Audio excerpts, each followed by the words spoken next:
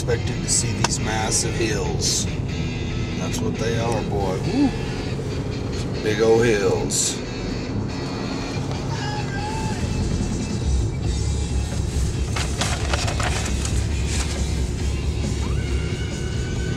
Up with the clouds again.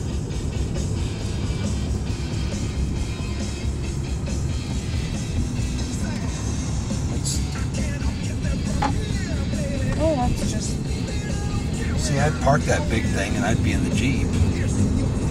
Oh, yeah. This coming. what? What? Oh, maybe not. Oh, it's look at the edge thing. Oh, shit. I'm taking.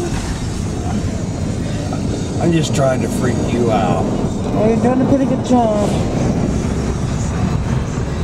I'm gonna close this in case it comes up a rain.